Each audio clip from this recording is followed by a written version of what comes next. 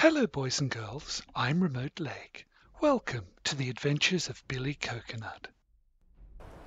This is a story of Billy Coconut. Billy lived in a magnificent palace by the ocean. It was full of many cozy rooms, each painted in cheerful bright colors, with fluffy feather beds and the smell of freshly baked bread.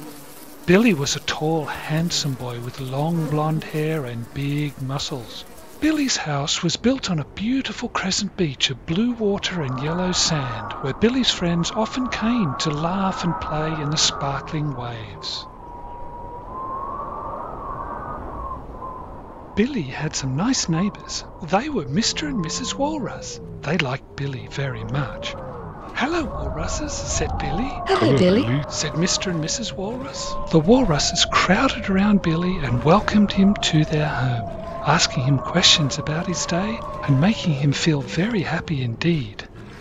After chatting for a while, Billy decided he had to do his chores for the day and it was time to go. Billy had a very important job cleaning the beach. Such a beautiful beach needed lots of care to make sure it was always as wonderful as it could be, and Billy tidied it every day. He always placed the few pieces he found in the trash bin for collection. On this day, Billy was collecting driftwood by the water when he found a strangely shaped shell. Billy had never seen such a fine looking shell.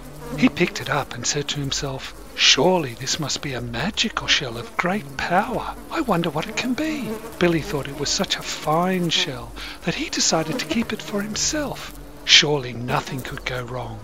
Billy thought, I bet Mr. Wizard will know what this shell is. He's very clever. And so Billy went to town to ask Mr. Wizard about it.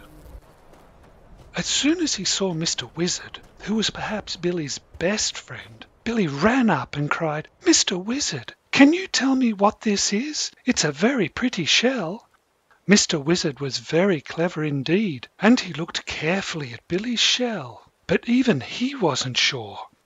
He said he was sorry he could not help, and Billy should take the shell far, far away, perhaps to another wizard, or the king, or another province, preferably one far away.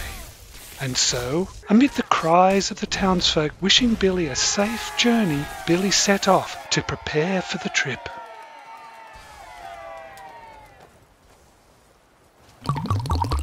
Billy decided to pack one or two flasks of mead to warm him up on those cold nights, and some food to keep his strength up. The big world was a dangerous place, so perhaps a small weapon for protection was also in order. And finally he was ready to leave, but it had gotten dark while Billy was packing, so he needed something to light his way, and perhaps some warm clothes to warm off the night chill. Now he was ready.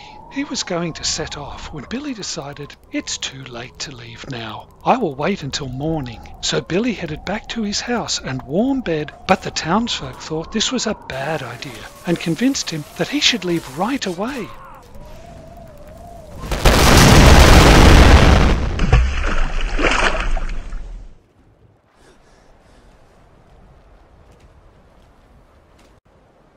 Well, said Billy, I guess I'll make an early start. And with that, he set off to see what he could learn.